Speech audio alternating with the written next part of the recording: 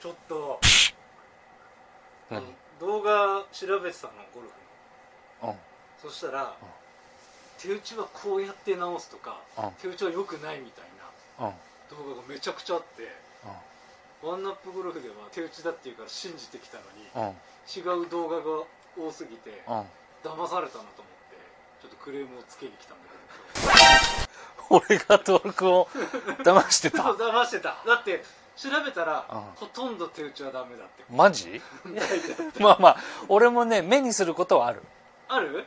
ある。あるけど、うん。騙したつもりはない。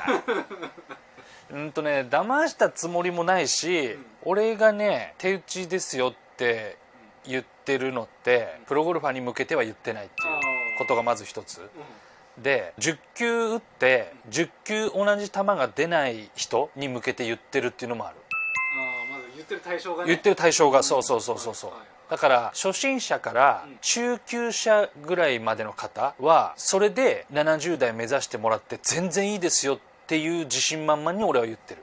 そういうこと、うん。大体スコアで言うとどの範囲の人もう無限からる無限から。無限から90まで。には本当それだけで十分だなと思う。じゃあそれができて、うん。要は手打ち？手打ちができて、90代全然出ますってなって、うん。したらそこから多少体を使って、うん。プロみたいなショットになるまではめっちゃ早いから。あそうなの？そう。要は手打ちで、うん。クラブの動きだけで自分の飛距離を打てるようになるまでがめっちゃくちゃ長いのよそこからじゃあ、まあ、俗に言うプロみたいなスイングって言われるうん。綺麗なスイングになるまでは、うん。もうこれだから。技術量的にはね。練習量はすごいよ。あけどそれを取得する形だったり技術はめちゃくちゃ短いから。無限から90代までの時にやっていただきたいことがほとんどつゴルフのスイングに詰まってるからね。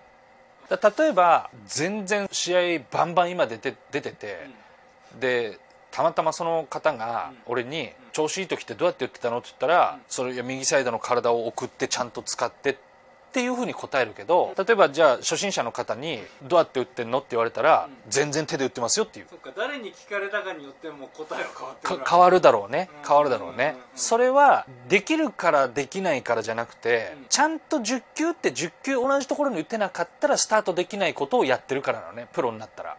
体を使って送ることだったりそのクラブの動きは大前提で戻ってきてるってもう置いとけるスイングになった時点でやることだから。全部が当たり前にできてる状態。そうそうそうそうそう。うんじゃないとできないことだから。その先のことそう。だから当たる当たらないで悩んでる方に、例えばそれを言ったとしてもうん俺はできないと思ってんまあそりゃそうだねの、うん、どう考えたって。うんうん。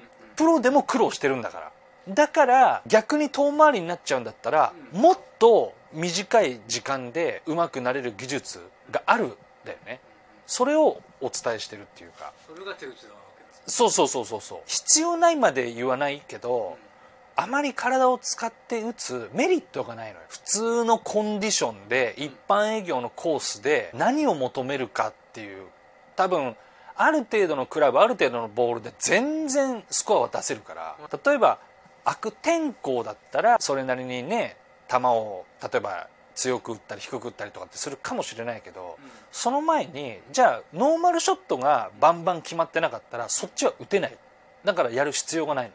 余計スコア悪くなるから。あそれの一つがもちろん手打ちとかそう体使うとかそういう話になるけどハンドファーストとかーうんダウンブローとかあるでしょ。でもさ徹君ゴルフやらないからさ多分す素直な答え返ってくると思うんだけどインパクトのクラブの形ってこれでよくない？いい。いいよね、うん。これが当たる時のさ、う理想の形じゃない、うん。こうやって振り上げてからこうやって降りてくるじゃない、うん。でさハンドファーストダウンブローってさうん。こういう形になるでしょ？うん。でこれチョロ君ちょっとクラブ抜いてもらっていい？そう。これでさこういう形になってんじゃん。うん。これでさっきのさうんクラブのインパクトのうん形に差し直直せるかっつったらさ手の向きがこうだから差し直せないじゃん。そう。だこの差が分かってますかってことなの。インパクトの位置にこうやって戻さなきゃいけないのにハンドファーストやダウンブローやらってやってたらクラブがここに戻ってくることってどうなっちゃうのってことになるでしょ。そうだね。そう。だからそんそうなのよ。それも理解してないとダメなんだよね。だからインパクトの位置って本当にもちろん最終結果がここなわけじゃない、うん。ボールをどこに行くかの。そこが分かってなかったらどんな理論取り入れたって意味ないから。ただそこってね意外と少ないと思うよ。分かってる方は。それができてから、うん。他のことをやっていかなきゃいけないってこと？そうそう。それがスタートなわけだ。スタート。でこれがある程度うん。できてきてうん。次をやろうって言ったらもうダメだから。完璧にできましたじゃなきゃ次に行けないことなのねインパクトって。だから理論を入れた時点で当たんなくなっちゃったっていう意見が出てくるわけよ。完璧じゃなくてやっちゃったそうそうそうそう。9割でも多分ダメだと思うよ。だからちゃんとした基礎を教わんなきゃいけないんだよね。それね本当大事だと思う。その基礎ってそんな複雑じゃないから。本当ワイドスタンスでボール真ん中に置いてパンって打てるかどうかっていううんことが大事。ほぼそれだけ。そこからまあちょこちょこなんかいろいろ見たりするけども大まかにはそれができなかったらそもそも当たんない。本当に戻せとかいうん。ろいろ言ってるけどうん。本当そう思う。本当に心底思そのさっき言ったさううんにできるようになってからじゃあ理論を取り入れてくださいっていうのは、うん。10球って、うん。10球当たるようになったらってこそこはねた難しいんだけどタイミングもあるから9球でいい。と9でいいんだ。ああ9か10じゃなきゃダメ。8は絶対ダメ。あ。8割の成功例じゃ絶対ダメだから。じゃあプロゴルファーはもう打ちゃ9は必ず当たる例えば8番アンとかうん。7番アンで練習場でうん。16070のグリーン狙うじゃない？うん。多分10だと思あ乗せるのは10ね。う乗せるの？うん。乗せるのは10球しか打ってないのに12いくから。そんぐらい乗る。そんぐらい乗る。あそっか乗るのはあれなんだもんね、乗るのはもう。一生乗せられるんだもんね、うんよっぽど熱出ない限りうん。乗る。グリーンのあの色の違いの何本目って狙って打ってるんだもんねそう。あれはね全然いける。じゃあ乗せるのとかっていうレベルじゃないんだ。その次なんだ。うんとそうだね。2分の1とかね。グリーン半分に切って右左だったら、うんまあまあちょっと面白くなってくるかなっていう。まあ2分の1として、うん。まあプロでうん、まあ、9割だよね。あそれでもやっぱ救急はいかないと。ああ。じゃあちょっとあ当たんなかったっていう時に違う方行っちゃうそうそうそうそうそう。ちょっとドローがきつかったとかフェードがきつかったとか、ラインがずれたとか、うん。出玉がね、うん。うん、それでそれで絶対修正するから次。でも乗るのは乗るのねそれで。絶対乗る。練習だったらね。もう150ヤードだったらよっぽどの何かがない限り乗る。余計なことをやんやんない感じだから、あ乗せるだけだ。乗せるだけ。乗せるだけでいいよって言われたらうん。いいのっていう。例えばそれにコースでじゃあね、うん。そんだけ練習でうまくいってんだったら、コースだったら簡単でしょって。例えばコースだったら芝生になるじゃん。ショートホール150ヤードだったら例えばコンペとかだったらニアピンとかかかったりするじゃん。状況変わるじゃんそれでいろいろ変化が生まれてくる。結果に。例えばピンが手前奥。そうすると持ってる番手が変わってきたりするじゃない。そうするとフルスイングじゃなくなる可能性もあるでしょ。そうなってくると全然同じ距離なのに状況が全く変わるのよ。それはフルスイングで振りちぎった方が得意な人か大きいグライドを抑えた方が得意な人かによってもピンポジションによって変わるじゃないそう。だから同じ150じゃなくなるっていうことなんだよね。でも練習場の150はみんな同じ150なの。しかも真ん中だもんね。そう。だから乗るの。あそういう理由なんだ。そうそうそうそうそう。状況が全然違う。もちろん単純なプレッシャーもそうだし。じゃなかったら多分あんな試合でうん。プロがグリーン外すわけない。ああれが練習場そうそうそうそうそう。そうそれぐらい打てるようになったら。うんいろいろそう体のウエイトをボールに乗せる動きだったり、うん。そういうのを加えてっていいと。8割だったらね例えば手打ちで8割成功しました。うん。うんじゃあ新しい体を使ったり回転させたりっていう理論をその8割に入れたらうん。6になるかそうだね。ら、うん、絶対なるから。あ確かにね。そうしたらもう半分じゃん、そうだね。うん、したら10球って4球もミスしちゃうのよ。うんうんうん。したらもう普通の人じゃん、でも9球か10球成功するんだったらん。それ入れて8ぐらいになるそう。そう。8割だったらまあまあ戦えるから、そうだよね。うん。しかもあれだね。ここは失敗したくないって時はそれやんなきゃいけない。そうなの。そのジャッジできるじゃん、そうだね。そう。でも半分だったら分かんないじゃん。2分の1だから。ほんだからって手打ちに戻したところでうん。8だからそう。2球また失敗するそうなの。2級ってまあまあ高いじゃん。うん。確率だからやり続けなきゃいけない。だから本当軽々しくは言ってないけど、手打ち手打ちって簡単に言ってるかもしれないけど、うん。でもすごく大切なことで、本当に一番のメインの動きは何って言ったら体ではないってこと。クラブっていうことをまず認識しなきゃいけない。手でもないよね。そう。だってこいつが当たるんだもんボールに。ね？そっかそうだね。そう。